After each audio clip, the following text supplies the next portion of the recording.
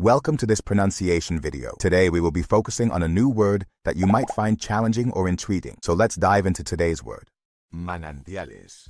which means, Water springs or fountains typically found in natural settings. let's say it all together. Manantiales. Manantiales.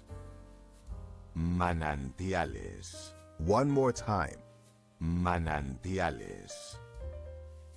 Manantiales. Manantiales. Thank you for joining us on this adventure in pronunciation. Remember, language is a journey, not a destination. Keep exploring, experimenting, and expanding your linguistic horizons. We'll see you next time.